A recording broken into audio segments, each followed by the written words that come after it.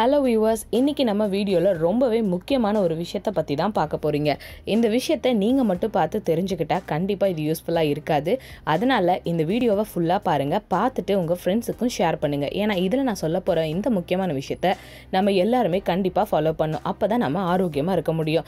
அப்படி என்ன விஷயத்தை பற்றி பார்க்க போகிறோன்னு சொல்கிறீங்களா போலியோ இல்லாத பட்டியலில் இந்தியா இடம் பிடிக்கணும் அப்படிங்கிறதுக்காக தான் போலியோ சொட்டு மருந்து முறையாக வழங்கப்படணும் அப்படின்னு பிளான் பண்ணிகிட்ருக்காங்க எஸ் போலியோ பற்றி தாங்க சொல்லிகிட்ருக்கேன் இருக்கேன்.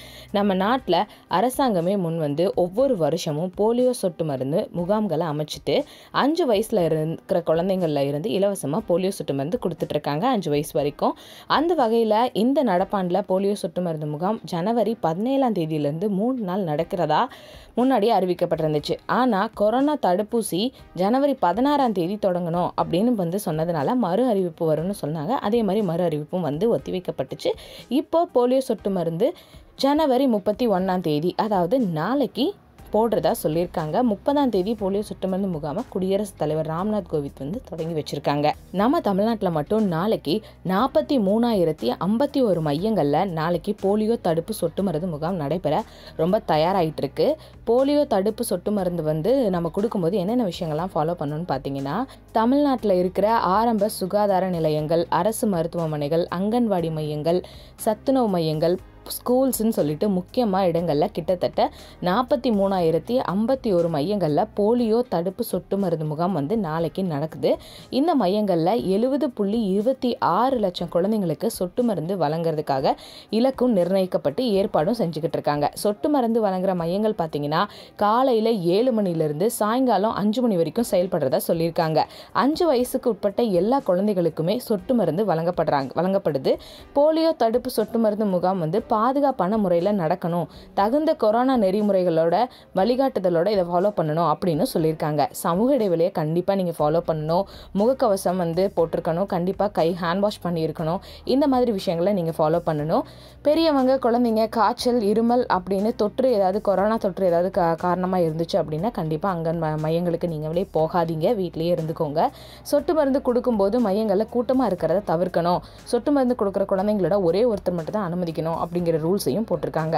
தேசிய தடுப்பூசி அட்டவணைப்படி ஒன்று ரெண்டு நாட்களுக்கு முன்னாடியே போலியோ சொட்டு மருந்து வந்து வழங்கப்பட்டிருந்தாலும் முகாமில் மெயின் திரும்பவும் சொட்டு மருந்து வழங்கிக்கலாம் போட்டுக்கலாம் அப்படின்னு சொல்லியிருக்காங்க. ரீசெண்டாக பிறந்த குழந்தைங்களுக்கு சொட்டு மருந்து கொடுக்கறது ரொம்பவே அவசியமாக இருக்குன்னு சொல்லியிருக்காங்க. விடுபடுற குழந்தைங்களை கண்டுபிடிச்சி சொட்டு மருந்து வழங்குற குழந்தைங்களுக்கு இடது கை சுண்டு வரல மை வைக்கப்படும். தனியார் மருத்துவமனையிலுமே சொட்டு மருந்து வழங்க அறிவுறுத்தியிருக்காங்க. அது மட்டும் இல்லாமல் புலம்பெயர்ந்து வாழும் பெற்றோர்கள் அதாவது ஊர் விட்டு ஊர் வந்திருப்பாங்க இல்லையா அந்த குழந்தைங்களுக்குமே போலியோ சொட்டு மருந்து வழங்கப்படும்னு சொல்லியிருக்காங்க.